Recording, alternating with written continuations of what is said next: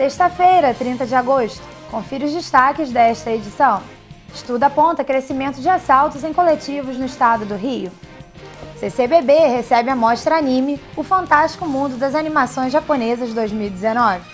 E ainda, o duelo entre Flamengo e Volta Redonda pela Taça Rio Sub-20.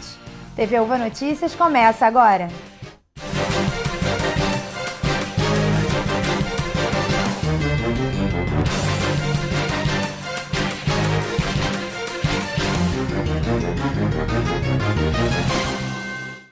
No último dia 20, o sequestro a um ônibus na ponte Rio-Niterói expôs a falta de segurança nos transportes públicos.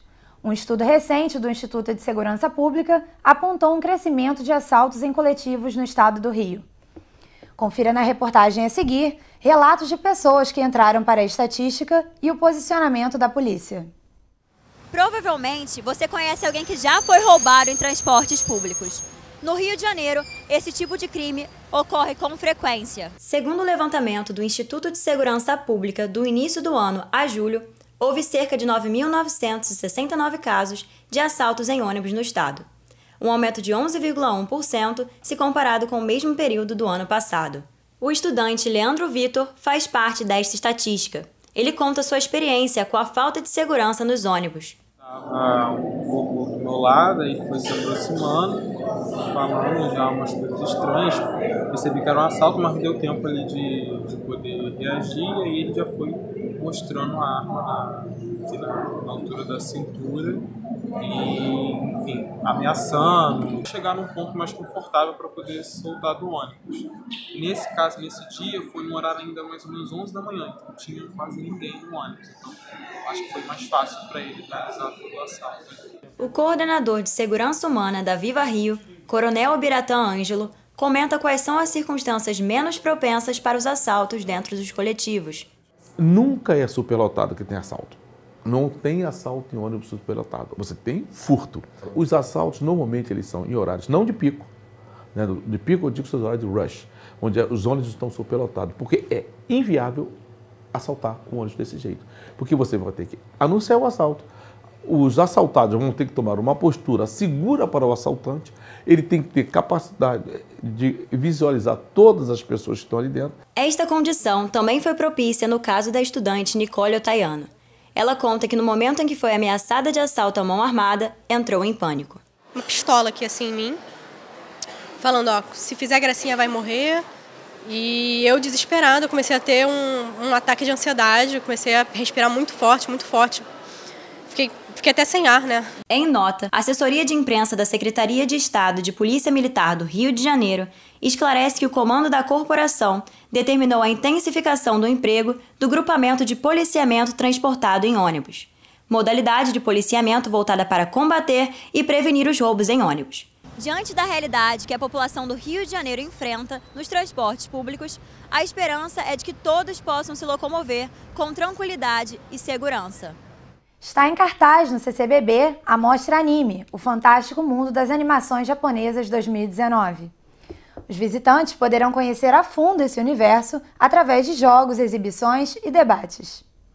É bem provável que você já tenha visto algum anime japonês, um dos tipos de desenhos mais famosos do mundo, que ultrapassa gerações e fazem sucesso entre adultos e jovens. Mas e se fosse possível conhecer de perto esse universo?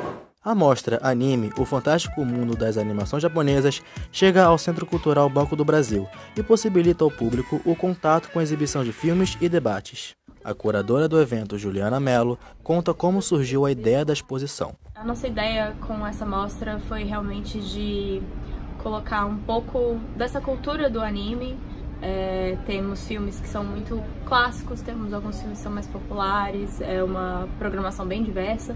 E o objetivo era realmente de mostrar. A gente sabe que tem um público muito grande de anime aqui no Brasil e a gente queria também mostrar para o público que não conhece tanto anime a diversidade de possibilidades de gêneros, de estilos de animação. Conversamos com algumas pessoas que estavam presentes no evento para saber o que acharam da exposição. Tem até uns animes que mostram coisa aqui de fora, a visão deles daqui de fora, acho que é muito legal como eles mostram isso. Achei muito interessante, por sinal foi minha primeira, minha primeira experiência com com um filme que é para alguém, tipo, tem alguma dificuldade, né? Na casa que era para pessoas cegas e tal. Então ele ia narrando o filme, então foi uma experiência única para mim, eu nunca tinha passado por isso. Muito bom a gente ter esse, esse vislumbre de como é outra cultura, estando tantos quilômetros de distância, mas a gente sente aqui pertinho da gente. O público com deficiência também vai poder participar. O evento vai exibir uma sessão de cinema com audiodescrição e intérpretes de Libras, que vão acompanhar os debates. Mitsuya aponta uma arma para ela. Yuji chega correndo. Por que isso, Mitsuya? Para você que é fã e ficou empolgado, saiba que nesta quarta-feira, dia 28, haverá um debate sobre ancestralidade e mulheres no anime, às 20 horas. A exposição ficará em cartaz até o dia 2 de setembro. Não vai perder essa, né? Pela Taça Rio Sub-20, a equipe do Flamengo recebeu em casa o Volta Redonda e, com a vitória por 2 a 0, se classificou para as quartas de final da competição. Confira como foi essa partida na reportagem de Dorval de Lima. Aqui no estádio da Gávea, após um grande jogo, o Flamengo venceu o Volta Redonda por 2 a 0 e se classificou para as quartas de final da Taça Rio. A partida era importante para ambas as equipes. O Flamengo, se ganhasse, evitaria Vasco ou Fluminense pelas quartas de finais. E o Volta Redonda precisava pontuar para conseguir a vaga na próxima fase.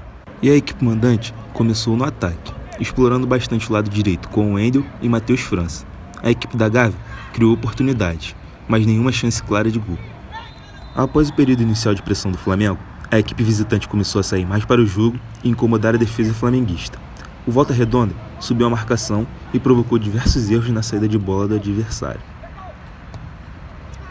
O lance capital dos 45 minutos iniciais foi a expulsão do lateral Walter, que após dividida de bola, errou o chute, acertando o rosto do centroavante Rodrigo Muniz, vermelho direto. O Flamengo voltou com uma outra configuração para a segunda etapa.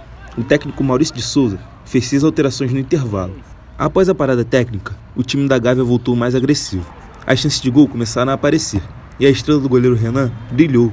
Vale destacar também a chance desperdiçada pelo atacante Lázaro, que recentemente foi destaque do título brasileiro sub-17 pelo Rubro Negro.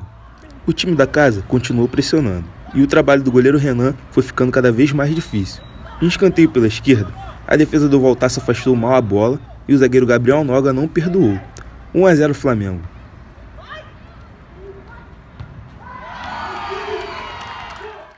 Na sequência, depois de mais um escanteio, o rubro-negro ampliou a vantagem com o zagueiro Natan, dando números finais ao confronto, 2 a 0.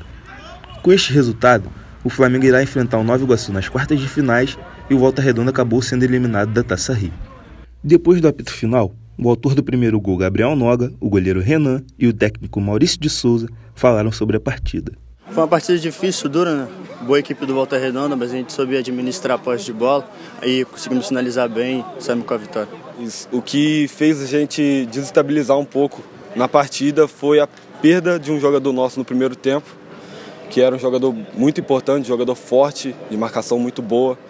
E no segundo tempo a gente ainda conseguiu segurar um pouco a pressão do Flamengo ali é, antes da parada técnica, mas depois o time cansou. As trocas já estavam programadas, é, a gente, todo mundo sabe da, da, da, maratona que nós estamos vivendo, jogo quarto, jogo quinta, jogo sábado. E a gente já veio com seis trocas programadas para a gente dar basicamente 45 minutos à equipe que está jogando mais tempo no brasileiro. Então, independentemente do resultado, que estava, que, do que iria acontecer, a gente ia fazer as trocas. Corremos risco de de repente ter um jogador machucado ou alguma coisa e ter acabar o jogo com um jogador a menos, né? É, apesar do Walter Redondo ter tido um jogador expulso. Mas enfim, as trocas já tinham sido programadas. Acho que ele fez um primeiro tempo bom, só que a gente foi pouco efetivo no terço final. Isso que eu pedi a eles, um pouco mais de efetividade. Eu sei que o campo estava muito escorregadinho, um pouco encharcado, mas a gente errou demais na parte técnica. TV Uva Notícias fica por aqui. Na semana que vem, voltamos com mais informações do Brasil e do mundo. Não deixe de acessar as nossas redes sociais e ficar por dentro de todos os nossos conteúdos. Um ótimo fim de semana a todos e até a próxima!